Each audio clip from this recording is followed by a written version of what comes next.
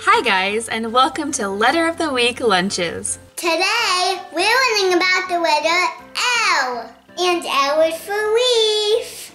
For today's lunch, I'm gonna start by making some leaf-shaped sandwiches. And for these, I'm using the good old PB&J. But this time, I'm using raspberry jelly, one of my favorites. Let me know in the comments down below what your favorite flavor of jam is. My kids are partial to strawberry, but I have to say they do not like grape jelly, like at all. Now to make our sandwiches look more like a leaf, I'm going to use my food writer pen to draw in a few little lines. This is really easy and I think it makes it look super cute. Now I had a really hard time thinking of a vegetable that started with the letter L, so I'm just gonna throw in some good old cucumber. I know she loves that. For a special treat today, I'm gonna throw in one of these maple leaf cookies. Next, in a separate container, I'm going to add some little leaf sticks.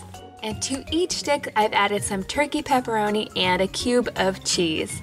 Not really L foods, but they are on a leaf pick.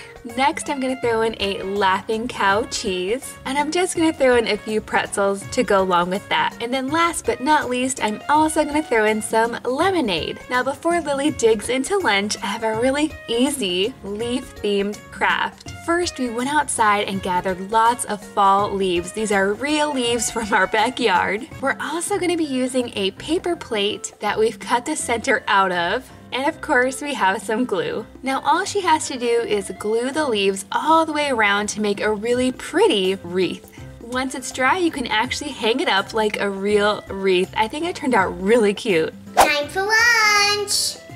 Let's open it. Yeah.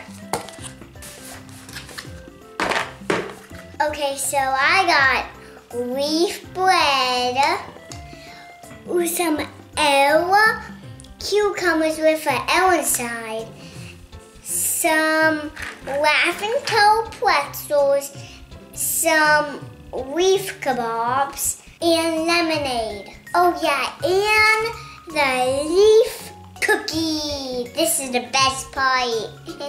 it tastes like maple.